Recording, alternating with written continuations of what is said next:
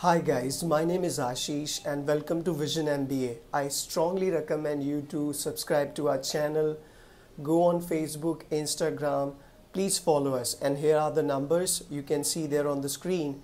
Please send a text and we will be joining you to our group where we'll be discussing every information and detail about management entrance exams. Now guys, this presentation or you can say this video is especially for students who are going to appear in CAT examination again. Yes, you heard me right, again.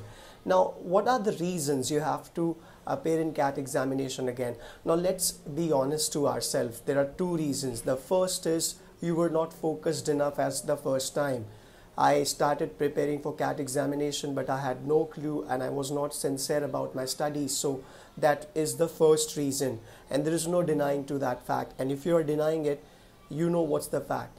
The second reason is again wrong guidance, false promises.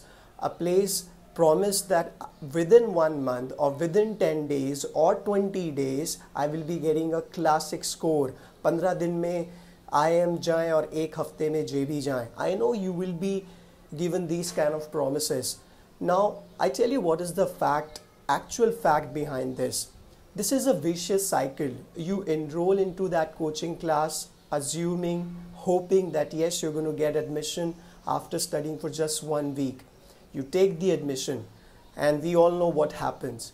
But then, next year also, you go to them again because you feel that I've already taken admission into that coaching class so let me go there again. I'll be getting a discount. And these people will also promise you if you come to us again we'll be giving you a discounted price because you are our ex students guys this is the trick.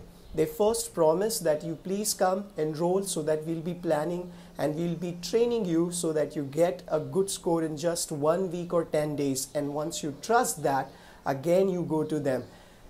They create their customer base. It's all business. So the first thing is you are supposed to be focused understand what the examination is. And of course now you do that. I'm not going to waste your time in telling you that how many questions are there what is the approach what is the marking scheme. You already know that. So let's not waste our time on that.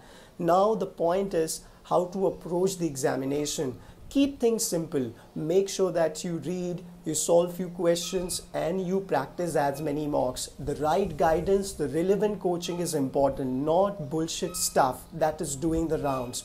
Please stay focused and understand what happened. You guys are smart enough.